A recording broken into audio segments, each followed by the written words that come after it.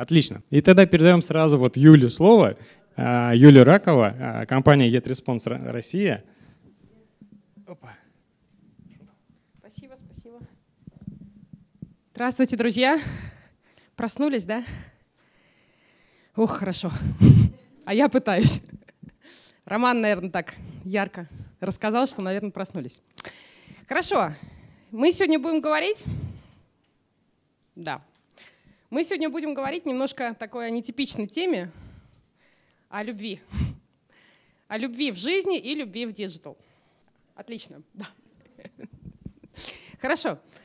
И я хочу просто рассказать о том, как, наверное, строить долгосрочные отношения с клиентами и поддерживать их.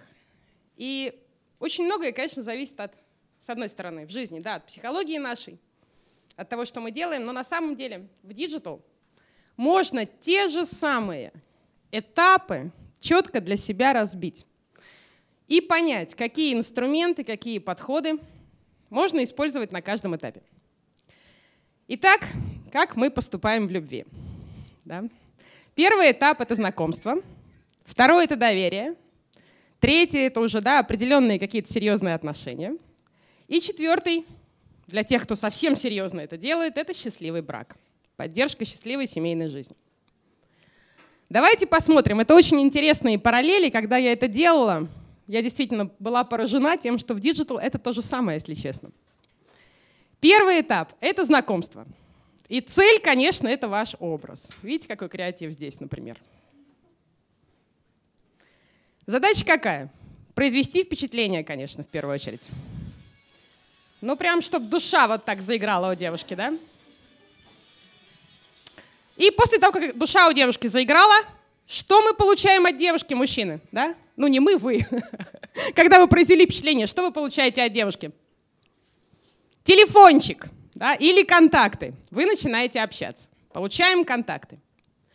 Теперь, если мы говорим о digital, то же самое — это знакомство. И первый шаг у нас в интернете, в диджитал-образе — это что? Это ваш правильный лендинг — Почему?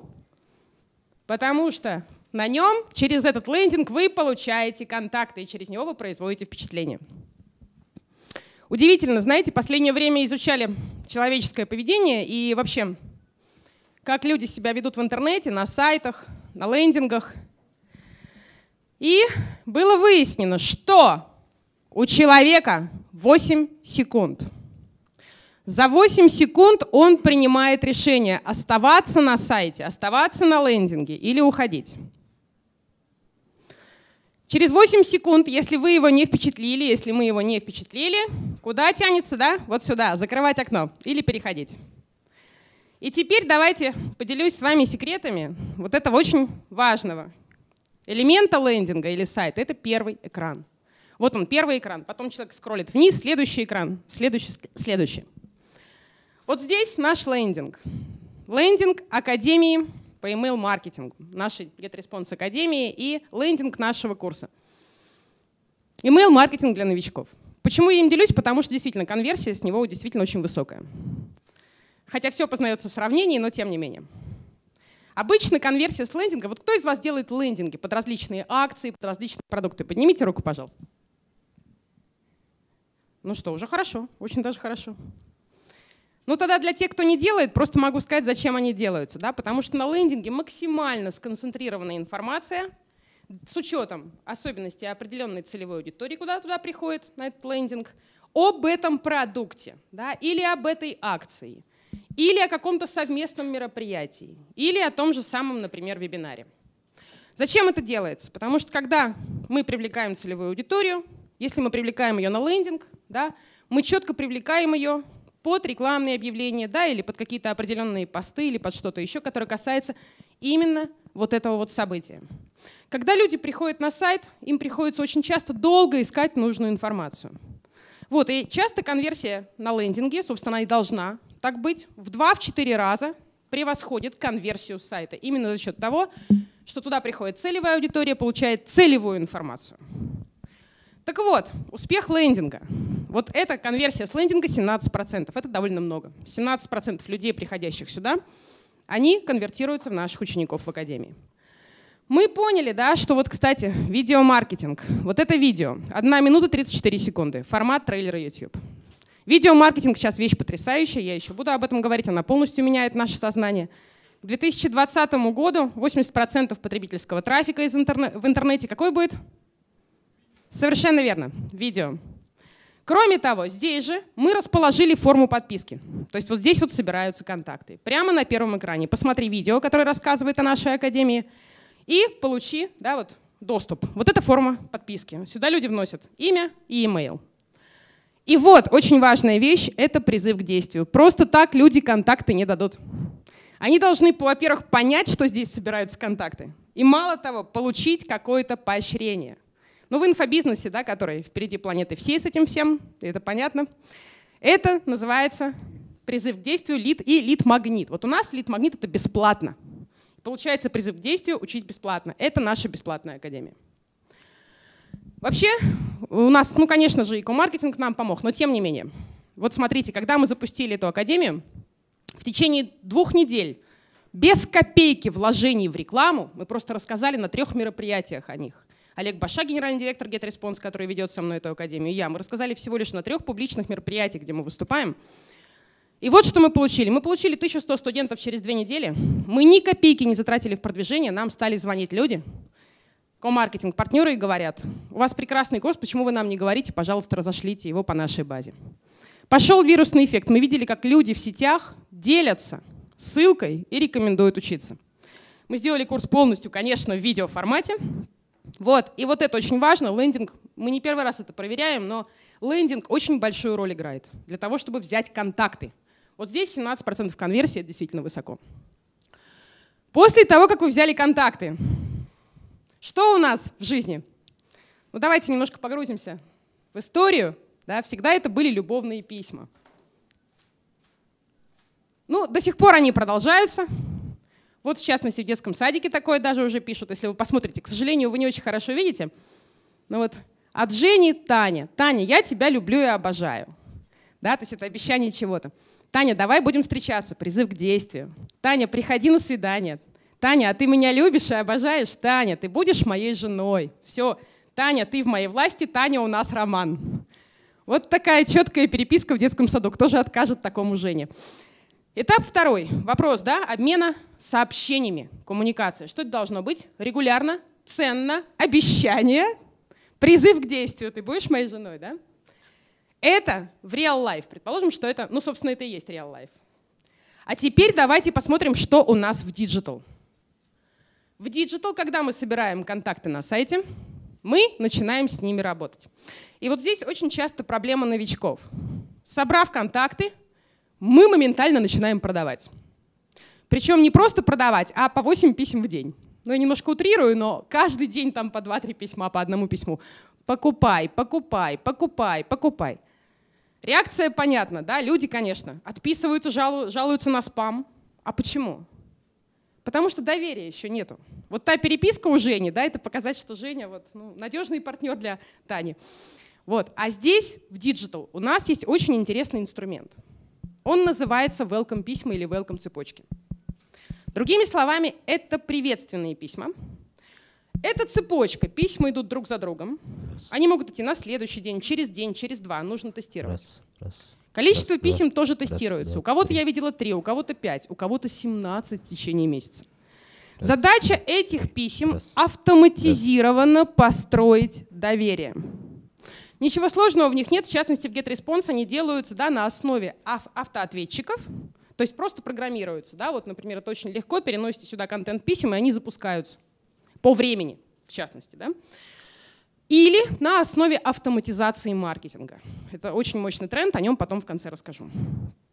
Что можно писать в ваших письмах? Для вас подготовила чек-лист. Очень приятно, когда письма пишутся от статусного человека. Да? То есть это показывает уважение к тому, кто оставил контакт. Что можно давать? Можно давать бонус, можно давать подарки, можно давать полезный контент. Есть одна тонкость. И вот я очень часто встречаю да, предпринимателей и маркетологов, и они спрашивают, а как продавать-то? Парадокс в том, что самые лучшие приветственные цепочки, у которых высокая конверсия в продаже, они не продают. Там нет слова «купи, купи, купи». Там нет слова «только сегодня распродажа». Задача вот этих цепочек — это построить доверие, плавно подвести человека к покупке так, чтобы человек думал, что это он принял решение о покупке. И вот в частности, да, когда меня все-таки спрашивают, ну хоть что-то продать можно? Можно, но продавать нужно красиво. Например, вот это мы четко оттестировали даже в той же самой цепочке нашей академии. Когда мы тоже, знаете, поймались на это, и мы написали, купите у нас там скидка такая-то. Вы знаете, ну вообще, вот так. Зато когда мы написали, а у нас для вас подарок, скидка такая-то, которая действует столько-то, совсем другое в несколько раз, вообще там космически, по сравнению с тем, что было, возросли продажи. А у нас для вас подарок. Вот такая формулировка. Что еще можно? Конечно, нужно писать о вашем бизнесе, можно писать о вашей команде, потому что люди покупают у тех, кто им нравится. Люди с большим желанием купят у людей, чем у роботизированного, автоматизированного бренда. Конечно, очень хорошая вещь номер четыре. Анонс того, что будет в рассылке. Это вы как будто вот закидываете, да, такой вот крючочек с наживкой, что следующие, следующие, следующие письма ждите, будем писать об этом, этом. Это я вам все говорю про цепочку. Это, конечно, не в одно письмо, иначе его прочитать будет невозможно. Потом, ваши преимущества, если у вас есть, конечно, вы рассказываете, что вы не только продаете, но есть еще ряд преимуществ.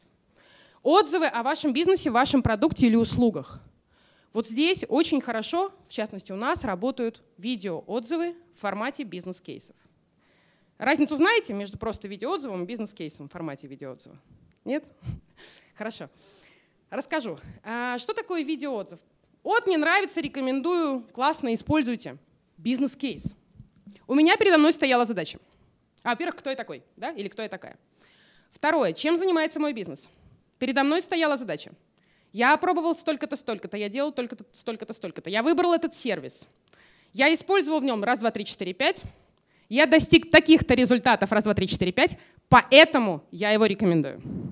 На самом деле звучит долго, но можно быстрый, хороший видеоотзыв по определенному кейсу работы с вашим продуктом клиента сделать. Максимум 2-4 минуты.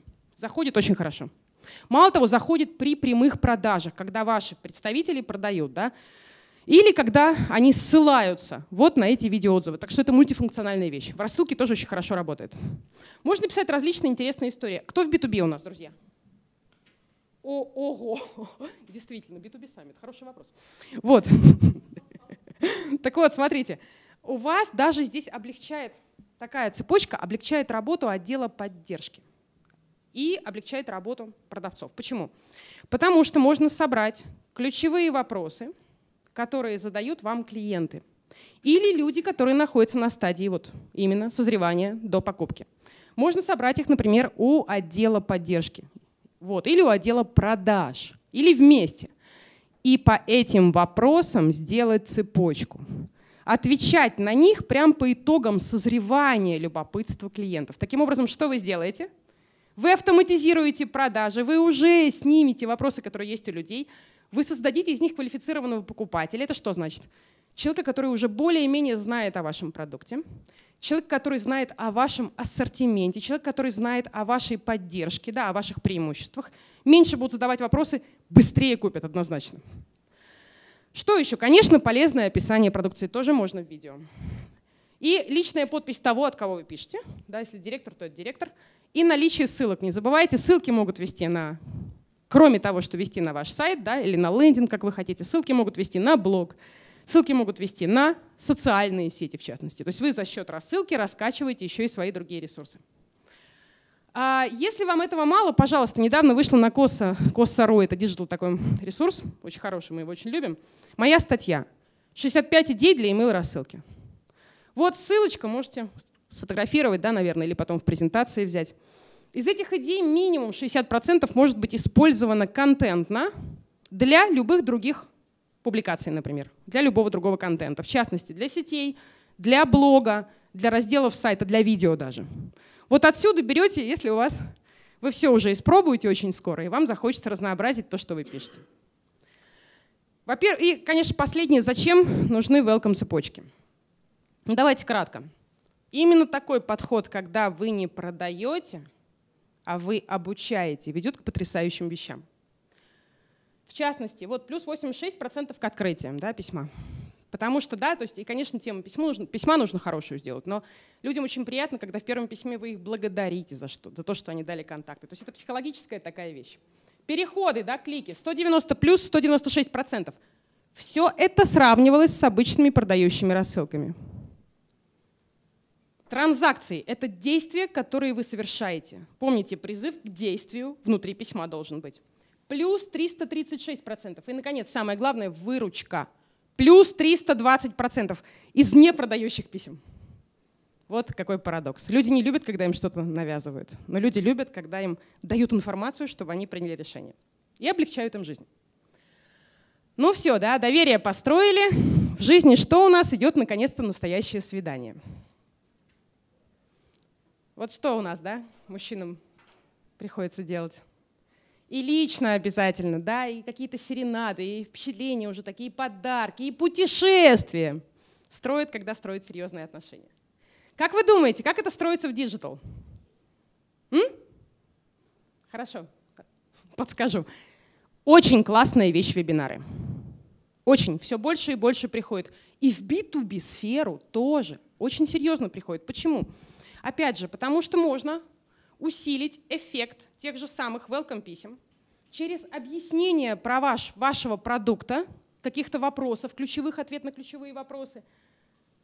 Именно вот на этом этапе, за счет зрительного, да, максимального и ауди, и аудиального, и визуального представления. Вот чем очень хороши вебинары.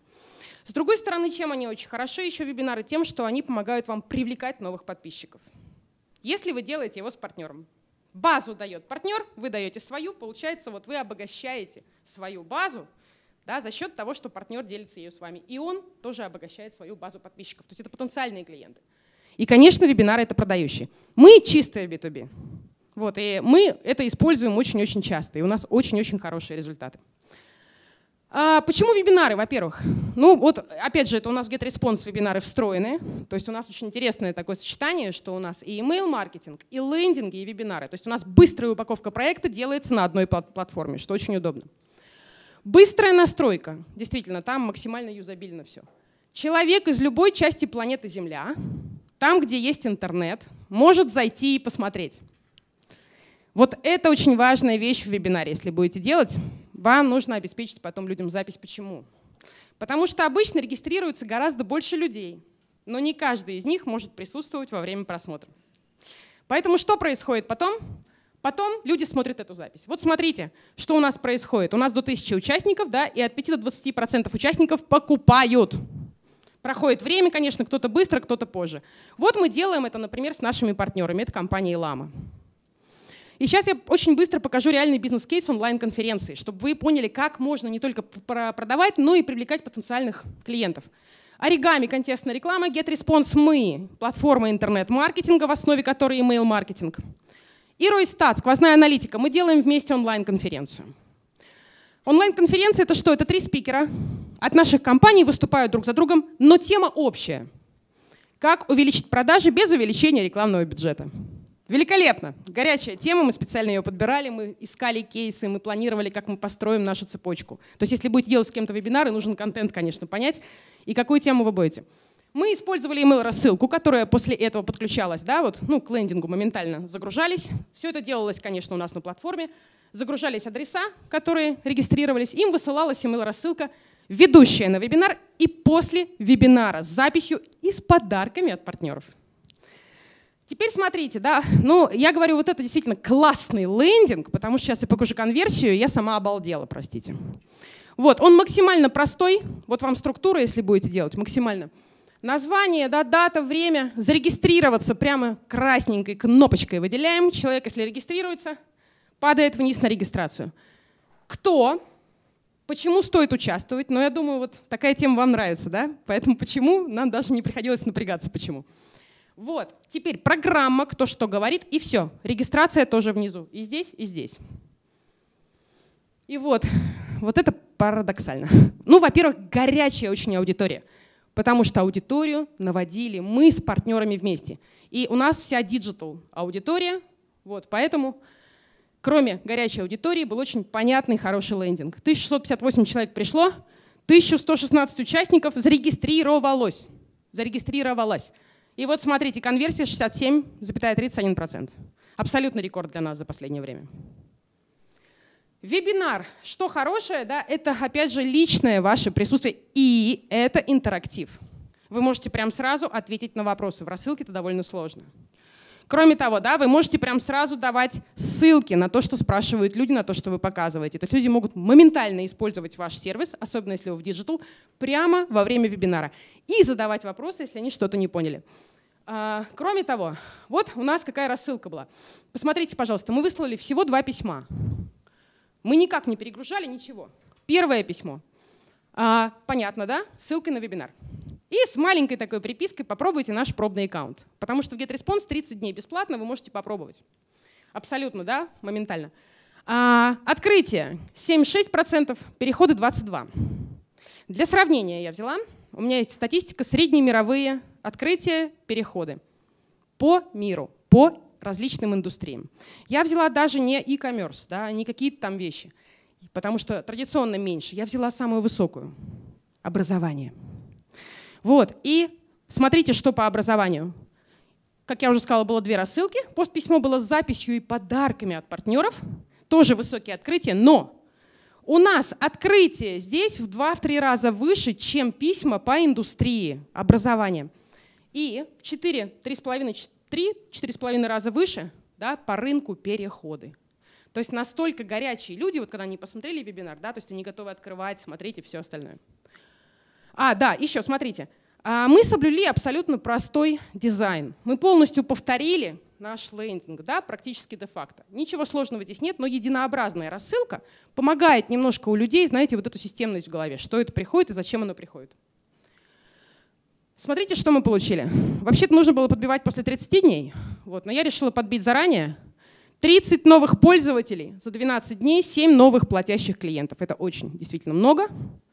И стоимость клиента, конечно, гораздо ниже. Через образование, горячую аудиторию, ко-маркетинг и правильную быструю упаковку проекта. Вот, таким образом, все это мы делали на нашей платформе. У нас что? Email-маркетинг, вебинары, лендинги. Хочу сказать, да, что у GetResponse хорошая, прекрасная история. 350 тысяч клиентов, 182 страны мира. И, конечно, мы русскоязычные. И интерфейсы, и поддержка. Вот поэтому пользуйтесь. 30 дней бесплатного доступа вот так на нашем сайте getresponse.ru. Сюда вносятся спокойно ваши реквизиты, да, вот контакты. И после этого у вас 30 дней бесплатного доступа. А, тоже наш подарок вам. Только смотрите. Вот как Золушка, да, на тыкве. Чуть не приехала обратно, да, но убежала. Так и у нас вот эта скидка, она превращается в красивый ноль после 31 декабря 2017 года. А вообще вы получаете 50% на первые два месяца использования. Поэтому прошу заранее ее активировать, потому что потом будет тыква. Если хотите поучиться email-маркетингу и вот здесь посмотреть на формат образовательного курса, который вы можете сделать для своего рынка, кстати, образовательный курс вы можете запускать как welcome цепочку, потому что у нас Академия работает как welcome цепочка для определенных сегментов людей. И ежемесячные продажи мы получаем автоматизированно вообще, не напрягаясь то вот сюда вот можете зайти, поучиться email-маркетингу, а также подумать, что вы возьмете отсюда для того, чтобы сформировать свою цепочку. Ну, это уже для взрослых людей, да? Кто уже решился? Счастливая семейная жизнь. Вот так, наверное, не надо. А надо вот так. Почему? В тренде. Надо вот так. А знаете, как это достигается? Девушки, откроем секрет, да? Розгами? Нет. В digital у нас есть такой же процесс, только вот этот человек, который моет, это клиент. А вот это то, что изменяет наш мир сегодня. Это фантастическая вещь. Это то, о чем мы все слышали, да, вот роботизация, автоматизация. Так вот, я искала, как найти да, четкое определение. Даются разные определения. И вот это мне понравилось больше всего. Автоматизация маркетинга — это доставка правильному ну, клиенту или человеку, как хотите, правильного сообщение в правильное время, чтобы клиент выполнил нужное нам действие. Де-факто программирование поведения, если уж совсем так сказать по-жесткому. Теперь что это такое? Раньше она была доступна только крупным компаниям, потому что нужно было долго настраивать, это были мощные комбайны, которые этим занимаются. Сейчас средний и малый бизнес вовсю, вот в частности у нас GetResponse этим пользуется. Она основана, да, само применение на сценариях поведения человека. Сценарии строятся по определенным действиям, которые являются триггерами для рассылки сообщений. Какие это действия? Оставил контакты. Потом что? Мы простраиваем. Простраивается очень легко у нас, в частности. Вот берется да, определенное действие, переносится сюда, после этого да, оставил контакты. Мы высылаем письмо, да, например, приветственное письмо. Что потом? У нас следующее действие – открыл, не открыл. Ох ты! Если открыл, мы проводим, вероятно, его по всей цепочке. Если не открыл, мы думаем, что делать. Мы уже можем переместить его, например, в цепочку неактивных. Ну, в частности, некоторые компании так поступают. И для них уже думать, как запускать реактивацию. То есть я к чему? Существует четыре классных сценария автоматизации маркетинга в имейле. Welcome, потом слово автоворонки. Вы слышали? Автопродажа, автоматизированная продажа. Вот именно здесь вы их толкаете к продаже, если вы через welcome туда не затолкали. Ну, не затол... некрасиво толкали, мягко двигаете. Вот, после этого есть еще После этого есть еще брошенная корзина. Если у вас брошенная корзина, то можно через автоматизацию вернуть людей. Напомнить, дать дополнительную скидку или что-то еще. То есть простроить весь этот процесс. И, наконец, последняя очень мощная вещь – реактивация. Вот эти четыре сценария на условиях и на действиях. Кстати, если честно, ничего сложного нет. Это очень интересное упражнение, которое позволяет вам проявить свою две вещи ваших. Психологию вы понимаете клиент, как он будет действовать. Вы думаете, как его привести к нужному действию. Программируете. И второе творчество. Творчество, как составить контент. Как составить такой контент писем, чтобы человек их открывал, читал и переходил. И уже третье, соответственно, это знание инструмента, который у нас, в частности, максимально облегчен. Давайте расскажу, как вернуть любовь с клиентом. Было очень интересно в э, середине прошлого года, когда эта функция была интегрирована у нас. Мы одни из первых вывели ее на рынок. Я решила ее оттестировать. Но с помощью одного из очень мощных экспертов рынка Елены Антиповой. Эксперт email-маркетинга, Елена часто выступает, номинант email-шоу. Наш клиент, конечно, компания Alltime.ru. Я позвонила Лене и говорю, Лен, помоги, пожалуйста, давай попробуем. Мне кажется, что тема потрясающая. Лена легких путей не ищет, но вы же знаете, эксперты. И она взяла страшнейшую базу для email-маркетолога. Уснувшую, неактивную. Подписчики, которые не покупали более двух лет и не приходили на сайт. То есть, знаете, вообще избавиться от таких уже надо, да, вот как-то почистить базу, но нет. Лена решила попробовать. Цели были две. Вернуть на сайт, понять, кто из них вообще открывает письма, кто живой. Ну, в состоянии email-маркетинга, для email-маркетинга. Ожидание. Открытие 5-7%. Это в среднем в три раза меньше, чем e-commerce. В три раза меньше, чем по индустрии. Продаж, конечно, Лена вообще не ожидала. А, Лена села за два с половиной часа, там два-три часа, составила простейший сценарий реактивации. Создала буквально за день три письма, которые друг другу рассылались. После, ну, друг за другом рассылались этим людям. Конечно, там были и предложения вспомнить, и предложения, да, какие-то определенные бонусы со скидками, и прощальное третье письмо, ну что же вы так. И это было потрясающе, потому что буквально после первой отправки Лена мне звонила на следующий день и очень эмоционально говорила. Говорит, ты не представляешь, Юля, ты не представляешь. Первая продажа пошла уже на следующий день по уснувшей базе.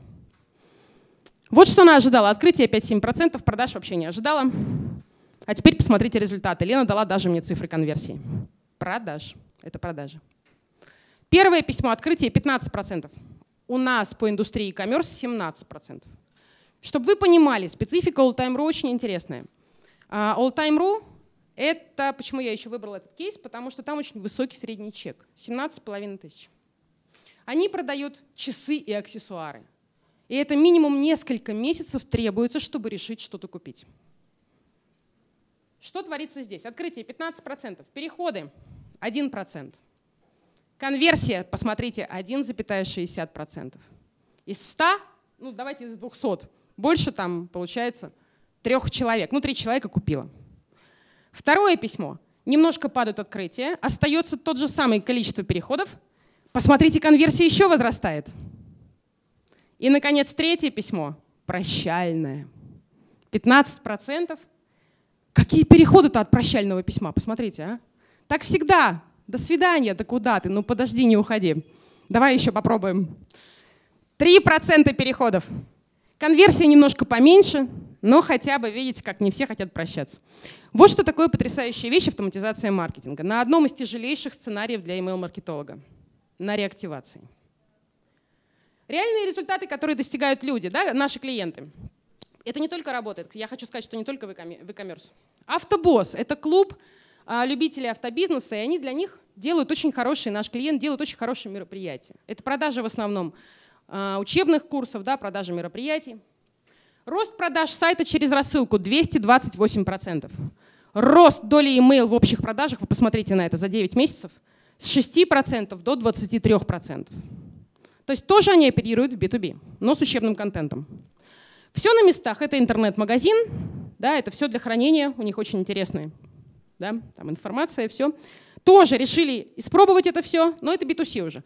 С нуля до 23,86% рост за 6 месяцев, с нуля за 6 месяцев. 25% для e-commerce, вот насколько я знаю, как в исследованиях открытых есть, это очень хороший результат с email рассылки.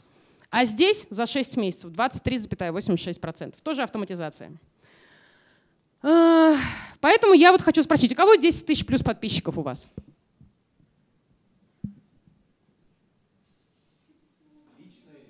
А? И то, и другое? У компании 10 тысяч. Ну, тогда предлагаю бесплатную консультацию вам.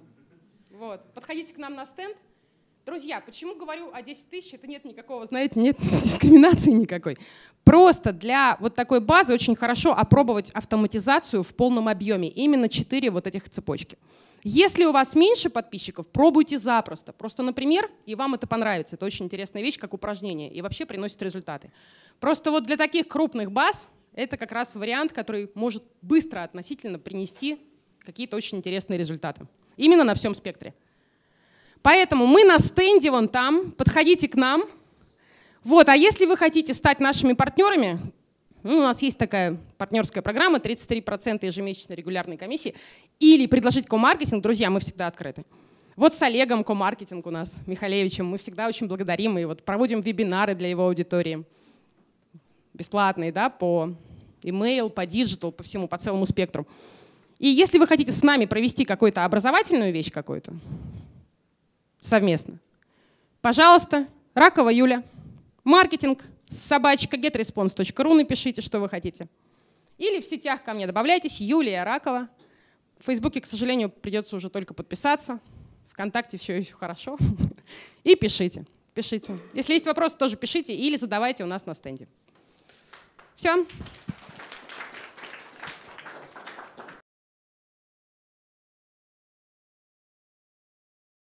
Поздравляю всех выживших в это зимнее слякотное утро, но добравшихся до нас, а, и предлагаю начать наше мероприятие. В первой секции у нас выступят а, три замечательных спикера, которые расскажут про стратегии в разных каналах и стратегии в общем понимании. Первым из них будет Роман Кумар Ильяс, один из создателей замечательного Кьюлина, а сейчас основатель маркетингового агентства Q-Marketing, а, Дмитрий Добровольский, а, компания B2B Research, очень полезный сервис для маркетинговой аналитики. И прекрасная Юлия Ракова, которая расскажет про стратегию маркетинга, точнее стратегию email-маркетинга, одного из самых, наверное, главных инструментов компании для продвижения. И слово передаю Роману с его а, с интересным названием. Почему такое название? А, ну, во-первых, там, там, там шрифт неправильно передался, поэтому он почему-то Comic Sans теперь или какой-то очень мультяшный, так что прошу все-таки относиться к презентации серьезнее, чем шрифт, которым она будет показана. Вот. Расскажу, расскажу про маркетинговую стратегию в B2B. Меня Рома зовут. А, вот я основатель агентства Q-маркетинг. Мы а, делаем комплексный маркетинг, консалтинг для компаний в России, Германии, Долине и Лондоне. А, что такое вообще маркетинговая стратегия? Да?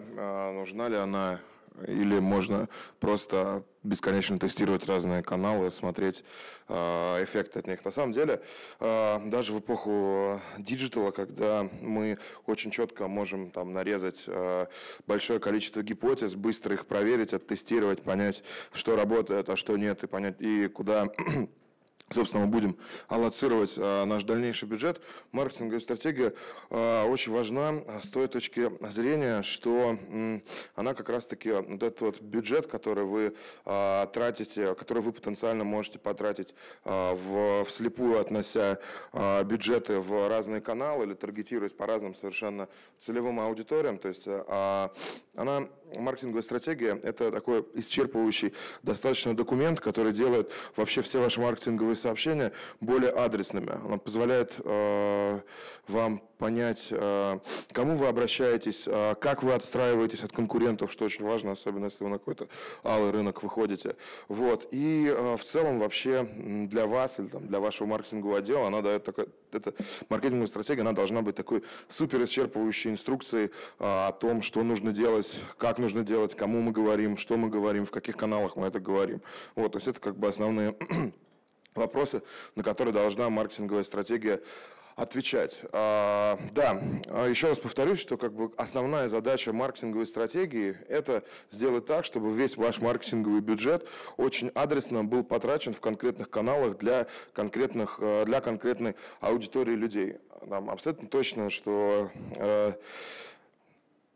Маркетинговая стратегия – это достаточно, ну, в эпоху диджитала такой изменчивый документ, потому что э, очень часто бывает, что внезапно выстреливает какой-то сегмент, о котором э, вы потенциально не знали, да, и э, поэтому э, Маркетинговая стратегия, она должна постоянно меняться, вот, она должна а, постоянно основываться на полученных данных а, и, собственно, преобразовываться под а, там, реалии текущие. Плюс, опять-таки, ваши конкуренты, они, а, естественно, тоже а, ведут свои дела, вот, и выпускают новые продукты, и про это про это нельзя забывать. Вот. Я сегодня расскажу, собственно, о том, как, э, опять-таки, да, это не истина в последней инстанции, это то, как мы, как мы делаем, да, я сегодня расскажу, как можно сделать самостоятельно э, аналитическую часть работы, какие некоторые инсайды мы почерпнули, вот, ну, а потом пообщаемся, поговорим. Значит, что, как я понимаю себе, из чего состоит стратегия? В первую очередь, стратегия – это большая аналитическая работа. А в рамках этой а, работы мы анализируем а, рынок. Зачем мы анализируем рынок? Для того, чтобы мы понимали вообще, во-первых, свой потенциал по росту, во-вторых, чтобы мы понимали, а вообще адекватен ли э, текущим запросам тот продукт э, и существует ли та и, и, и вообще решает ли ваш стартап действительно там или ваш бизнес действительно проблемы, потому что вот у многих стартапов э, сейчас э, есть одна очень серьезная проблема. У меня периодически приглашают там в жюри разных стартап-конкурсов ребята, там, вдохновившись там романтическими историями э, из, из, из журналов, начинают делать стартапы и решают э, несуществующие проблемы.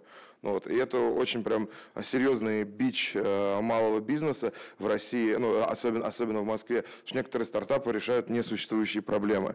Вот. И э, как бы анализ рынка, он перед запуском продукта как раз-таки э, дает ответ на вопрос, а вообще, собственно, ну, как бы устраивает ли ваш стартап рынок, удовлетворяет ли он потребности, объем рынка, на который вы выходите. А Product Marketing Kit – это как бы супер подробная инструкция о том, что нужно делать, где нужно делать, э, которая должна быть которая должна быть реализуема вне зависимости, шрифт полностью съехал, да, а которая должна быть реализуема вне зависимости от исполнителей. То есть хорошая маркетинговая стратегия – это такой всеобъемлющий документ, супер подробная инструкция с поканальным планом действий, которая может быть э, реализуема э, вообще любым человеком.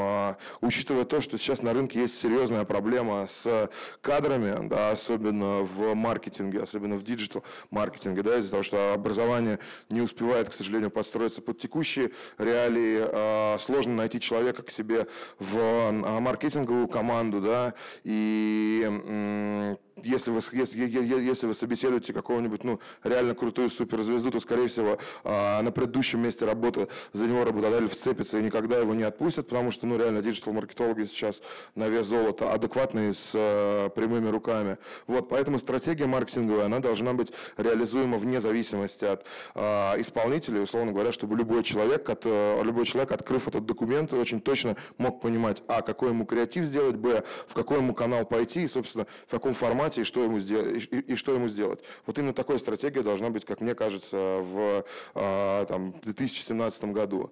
А, Значит, также в стратегии должна быть э, прописана очень четко структура исполнителей. То есть вы должны, э, то есть вы должны понимать, э, кому вы адресуете. То есть, sorry, вы должны понимать очень четко, кто будет исполнителем, какой конкретно задачи, кто, собственно, нужен вам в команде маркетинга, кому вы можете это отдать на аутсорс, и, собственно, какие у всех будут KPI.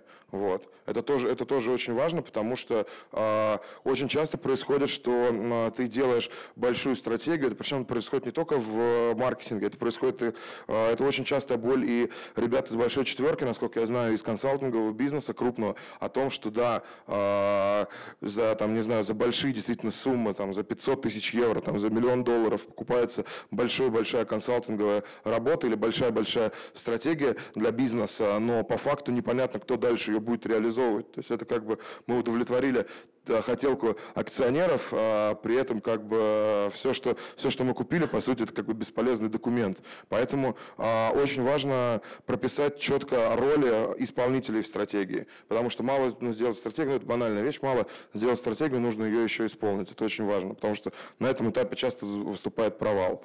Наступает провал. Ладно, расскажу про рынок, то, как мы анализируем. Да, опять-таки, я здесь не претендую на супер, э, супер, глуб, супер глубинные исследования, да, просто потому что у нас нет такого опыта. Но на самом деле а, мы очень часто, даже в рамках своих исследований, находим супер прикольные инсайты, которые нам позволяют в конечном итоге, э, с, в конечном итоге скорректировать, скорректировать каналы продвижения вот, и целевую аудиторию. Например, там, ну вот если говорить про инсайты, мы, например, когда анализировали рынок, обнаружили, что среди людей, которые заказывают э, доставку еды, э, больше половины, э, больше половины людей занимаются на курсах дополнительного образования, либо там английским языком, либо там курсы повышения квалификации. Из этого можно сделать вывод, например, что для продвижения очень хорошо пойдут как раз-таки кросс-промо там, с нетологией, со Skyeng, с English First и так далее, если мы говорим про маркетинг там, продуктов доставки. Плюс один делали, делали стратегию большую для сервиса, который роботизировал э, ремонтные отношения, вот, и поняли, что на самом деле, это правда B2C был бизнес, вот, поняли, что э, в России каждый, э, каждый второй кредит берется на ремонт, соответственно, для того, чтобы продвинуть э, эти услуги целесообразно было бы пойти в банки и встать к ним спецпредложением в тот момент, когда человек получает сумму кредита на счет. Вот, то есть это прям ну, гига, гига, гигантский канал продаж потенциально. Вот, значит, а как мы анализируем рынок? В первую очередь мы просто смотрим а, все открытые источники по всей семантике, которая у нас а, около бизнеса нашего а, может быть. Чаще, чаще, чаще всего это статьи и интервью в СМИ. Понятное дело, что там многие стартапы, многие компании там завышают, я, я сейчас говорю не о публичных компаниях, да, многие компании завышают свои показатели в СМИ, но как, как, как правило, до а, полутора раз. Вот, потому что ну, потом уже стыдно становится. Вот. А, но, но на самом деле в подобного, рода, в подобного рода публикациях можно очень четко отслеживать сигналы относительно того, в какую сторону пойдет бизнес. Как, а, есть ли место для вашего потенциально потенциально проекты внутри и так далее. То есть э, статьи, интервью СМИ очень э, полезны с той точки зрения, чтобы понять вообще, например, крупные, э, крупные клиенты рассматривают ваше направление потенциально, вы сможете быть проданы. Вот, особенно на рынке B2C, там как бы все прекрасно понимают, да, что любой стартап, который будет сделан, в конечном итоге будет принадлежать либо Сбербанку, либо Mail.ru. Вот, поэтому, как бы, э, поэтому, например, э, я рекомендую, если речь идет про B2C стартап, э, очень э, пристально обращать внимание на годовой отчет Mail.ru, потому что Mail.ru публичная как раз компания, и там есть очень много инсайдов внутри годового отчета. Плюс очень часто McKinsey, очень часто Pricewaterhouse делают супер большие исследования по относительно рынка, относительно э, паттернов потребления людей. Э, вот недавно Deloitte выпустила большое, э, например, исследование рынка криптовалют, вот, то есть, ну, очень актуально. Э, часто очень э, выпускают исследования по поводу э, рынка фудтех, вот McKinsey, насколько я знаю, выпускают вот везде, внутри этих, э, внутри этих отчетов можно а, нарыть очень важную информацию относительно рынка, относительно пользовательских предпочтений, относительно даже иногда сегментов клиентов, которые потенциально могут быть, являться целевой аудиторией. Вот, но на самом деле, на самом деле, самая, э, вот по опыту могу сказать, э, самая полезная информация, она всегда находится от знакомых. То есть, если у вас есть знакомые в индустрии, если у вас есть знакомые в венчурных фондах, вот, э, то лучше всего, лучше всего, конечно, пригласить их в бар, вот, и зачастую, особенно учитывая, принимая внимание тот факт, что NDA мало кого сдерживает, NDA работодатель Э, работник мало кого сдерживает в России. За кружкой пива можно узнать по очень, очень много, на самом деле, инсайдерской информации. Ее не обязательно где-то публиковать, публиковать, да, но, разумеется, из этого можно сделать абсолютно четкие выводы относительно положения рынка, относительно того, какие, какие, какие планируются инвестиции в сегмент, кто там крупный покупатель потенциальный и так далее. Вот. А плюс, а, если, допустим, вы не можете найти а, если вы не можете найти информацию о конкурентах, допустим, о ваших в открытых источниках, вы можете просто позвонить конкуренту, э, представившись э, венчурным фондом, вот, и, или, или аналитиком венчурного фонда, который собирает какой-то отчет, и под предлогом этого э, узнать всю необходимую информацию. Вот. Также есть, также есть такая история, как платное исследование. Вот. У РБК есть много платных исследований, вот, в частности вот по э, рынку доставки готовой еды, но и в целом по B2B сегменту тоже достаточно много исследований. Вот, их можно покупать, э, хоро, хор, хорошие, на самом деле, достаточно проработанные документы, э, плюс их можно заказывать, естественно, есть, есть очень много игроков на рынке, которые, собственно, занимаются этим.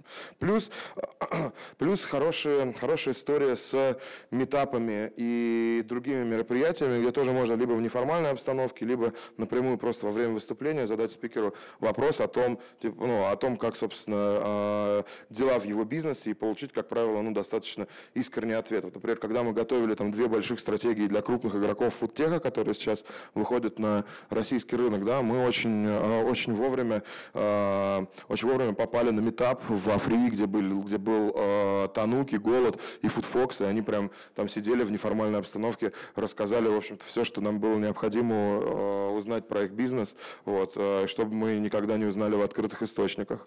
Вот.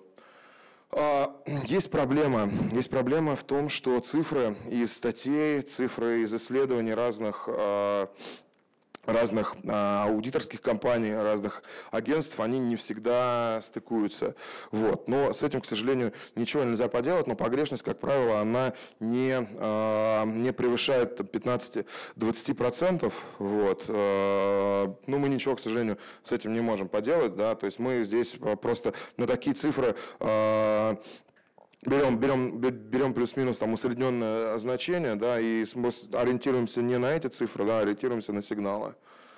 Дальше, а, собственно, аудитория. Вот это очень важный момент, когда мы переходим к анализу а, непосредственно аудитории, которая потенциально является вашим заказчиком. И здесь очень важно анализировать не а, только аудиторию как бизнес, который потребляет ваш продукт или товар, но еще очень важно анализировать конкретного человека, который принимает решение. То есть, если вы, не знаю, предоставляете услуги корпоративного туризма, то ваш, ну, скорее всего, ваша целевая аудитория – это не только бизнес, да, который э, отправляет своих топов в путешествие, да, легко можно найти в, в тех же самых платных э, каналах таргетированной рекламы, типа там Фейсбука, ВКонтакте и так далее. Если сделать адресное сообщение конкретно для него, в конечном итоге ну, это выстрелит. А, значит, что касается social data майнинга а, по, поводу, к, по поводу сегментов клиентов. Здесь ну, аб, абсолютно а, плюс-минус та же самая логика. Единственное, что мы здесь используем, скорее всего, здесь в, в, в большей степени соцсети. Я рекомендую там, для этого воспользоваться USCAN. Это такой универсальный поисковик, который позволяет по брендам конкурентов, по семантике нужной вам отсортировать, собственно, отсортировать э, все, что, все, все, все, что люди пишут, э, сталкиваясь либо с проблемой, которая решает ваш бизнес, там типа, а посоветуйте, пожалуйста, подрядчика по там, CRM. Вот, собственно, вы можете настроить так, чтобы э, к вам постоянно сыпалось, сыпались уведомления, если кто-то в, сети, в социальных сетях это ищет, да, вы оперативно реагировали. Но фишка в том, что на самом деле э, при создании маркетинговой стратегии вы можете эту информацию использовать для того, чтобы почерпнуть инсайты. Особенно, особенно если, допустим, вы видите, как рекламируется ваш конкурент, вы приходите в комментарии и видите страхи клиента, то есть вы видите, что мешает людям воспользоваться э, продуктом конкурента, и в конечном итоге можете это указывать в своих key-месседжах в э, любых маркетинговых сообщениях. Особенно, особенно хорошо раскрывается это в комментариях к роликам YouTube э, с обзором, например, продукции конкурента, либо к статьям, например, на vc.ru, да, несмотря на то, что там часто бывает э, достаточно много трэша в комментариях, да, но э, очень часто часто даже среди комментария, который э, очень негативный, да, и с ненормативной лексикой, можно очень четко э, отследить боль на самом деле клиента, сформировать этот вот список болей и для, для, для того, чтобы как бы по, по, ним, по ним адресно потом вы, вы, чтобы адресно потом по ним выстрелить. Э, значит, э, Медийные инструменты здесь, к сожалению, э, к счастью, точнее, не э, основной источник информации вот, э, с точки зрения именно страхов пользователя. Поэтому, разумеется, круто, конечно, проводить фокус-группы или глубинное интервью это можно делать, например, с вашей текущей аудиторией, если у вас есть ряд последователей, да, так называемый КАСДЕВ. Вот. Либо, это, ну, либо можно обратиться к профессионалам, которые, а, проведут фокус-группу, б, там, потенциально могут спрототипировать вообще э, как бы пользователя, который, не знаю, сидит в своей комнате э, и там видит ваше рекламное сообщение. Плюс э, проверка гипотез тоже. Это можно делать достаточно просто, опять-таки, да, собрать, собрать небольшой лендинг, посмотреть, э, написать там ключевые, ключевые важные поинты, которые вы даете там бизнесу, с которым для которого, собственно, ваш продукт или услуга есть, и там аккуратненько, аккуратненько попробовать там таргетированную рекламу э, запустить или контекстную рекламу и собрать первый, первый фидбэк у пользователей. А, значит, после того, как...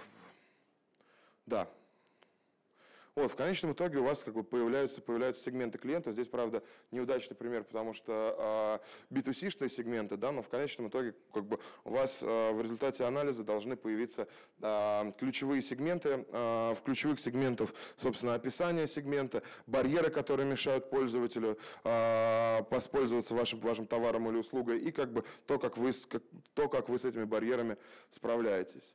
А, значит, если говорить про если говорить про конкурентов, как можно сравнивать конкурентов?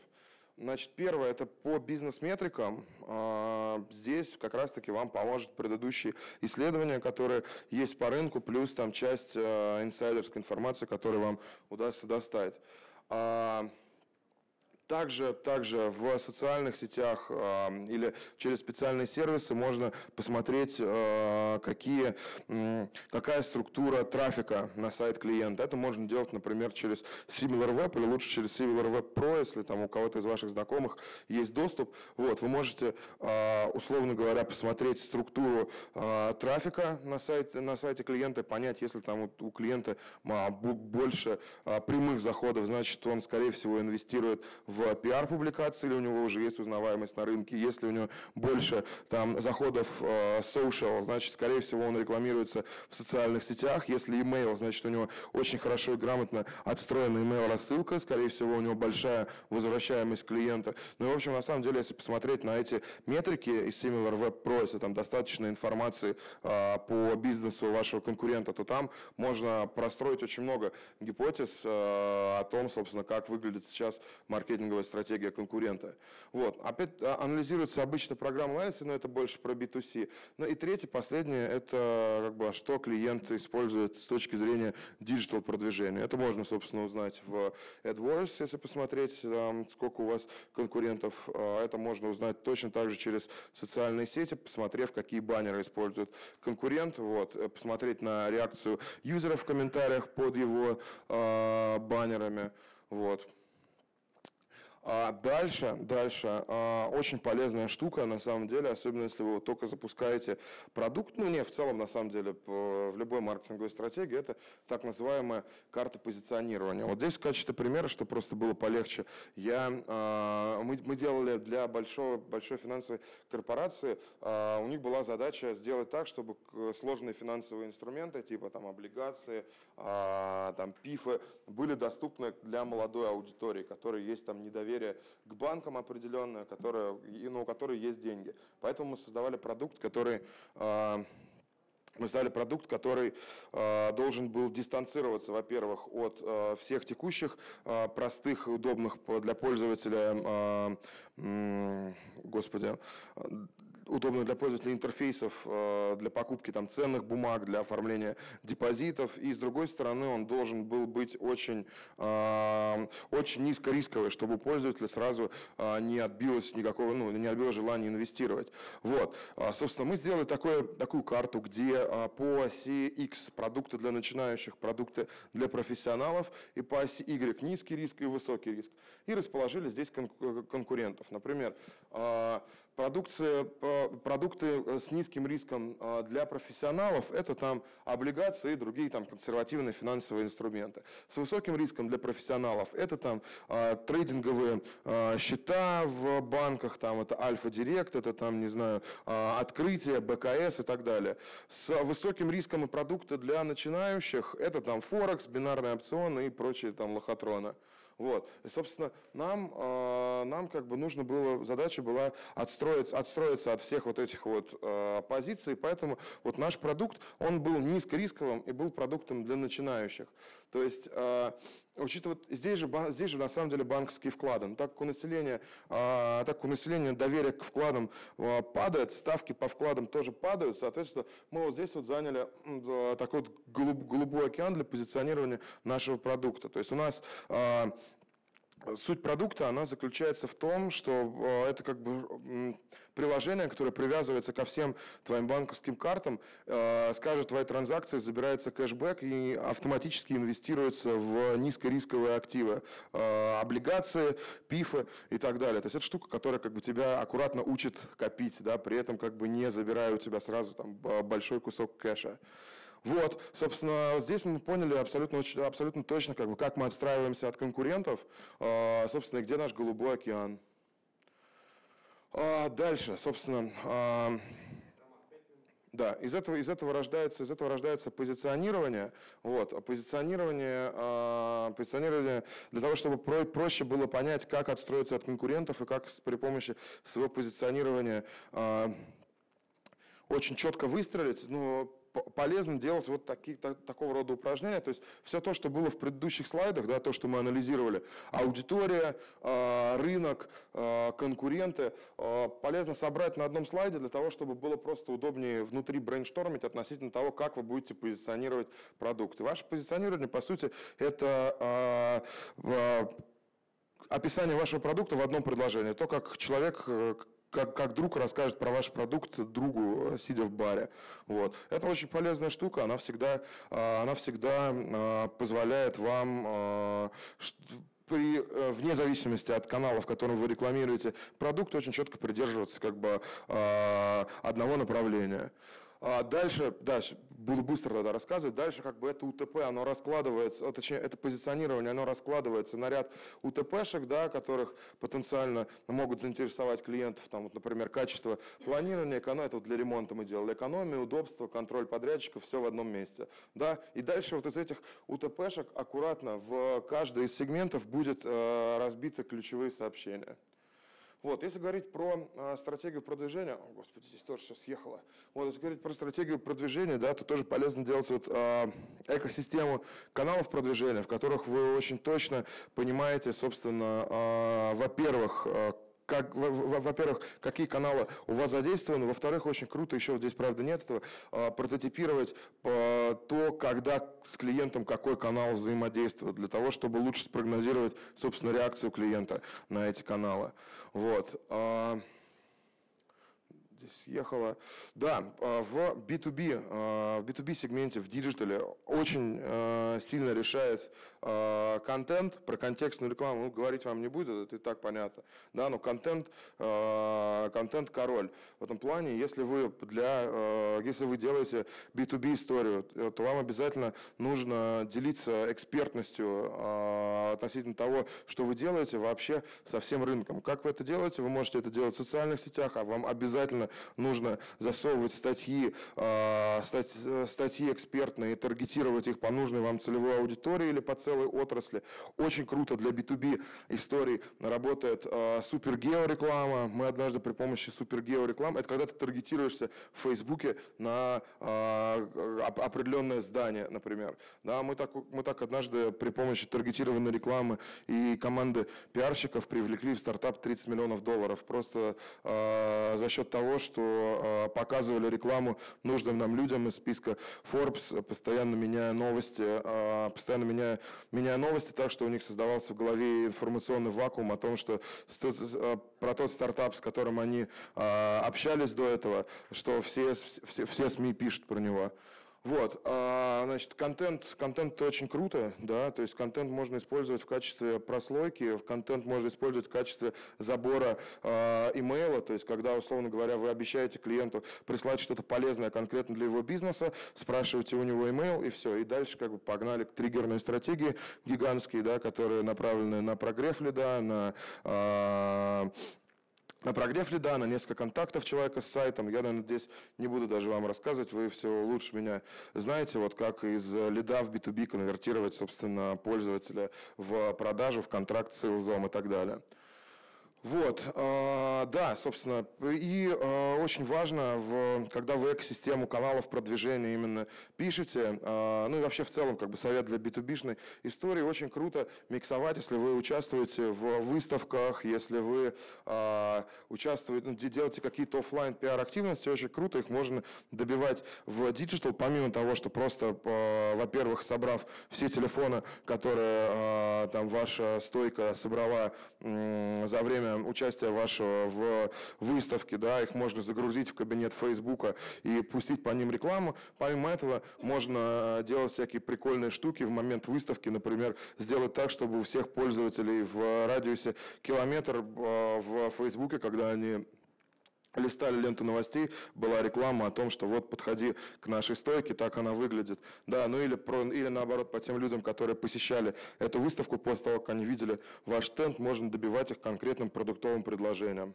Вот. Или можно добивать их а, фразой «хочешь, а, «хочешь все материалы с а, выступления, оставь свой mail». Собственно, человек, так как он был на выступлении, скорее всего, он это захочет сделать, оставит вам свой mail, а дальше вы врубите свою сатанинскую машину по конверсии из а, лида в продажу. Вот, поэтому давайте парочку вопросов буквально, чтобы не задерживать. Про то, что там условно Forbes показать, так сказать, рекламу. Сколько это стоит? Это стоило, если сложить, если сложить э, затраты пиарщиков и затраты э, наши на маркетинг, то это было около там э, в, в общей сложности за полтора месяца около полутора миллионов рублей.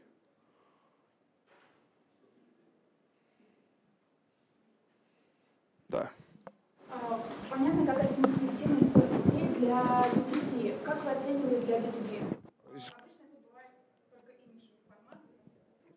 Вот нужно, нужно, ну, нужно дать, дать, дать клиенту какую-то полезную штуку в обмен на его контакт. И очень важно именно не просто попросить у него контакт, а дать что-то взамен. То есть и для того, чтобы, ну, то есть, условно говоря, а, оставьте свой email, я вам на этот email пришлю там 100 суперэффективных инструментов для логистов, да, или там сборник книг по, там, не знаю, прокачке менеджмент skills или что-то такое. Вот. И вот эффективность социальных сетей, она может мериться исключительно как бы в конвер- конверсии в лид. Да. А дальше, как только вы получили лид, все.